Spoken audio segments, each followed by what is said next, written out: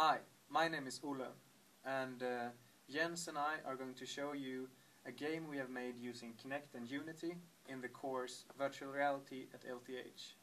Enjoy!